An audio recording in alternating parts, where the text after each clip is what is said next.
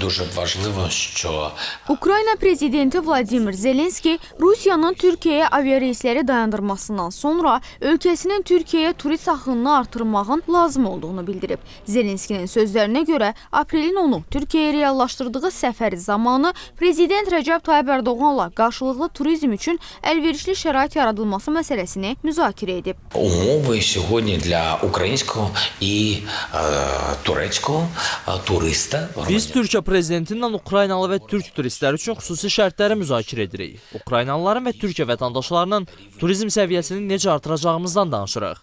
Xüsusilə indi bir-birimizə dəstək olmalıyıq. O bizi, müstəqilliyimizi və suverenliyimizi dəstəkləyir. Moskvanın Rusiyadan Türkiyəyə turizmi məhdudlaşdıracaqları ilə bağlı qərarlarını eşitmisiniz. Ancaq bu onların şəxsi işidir.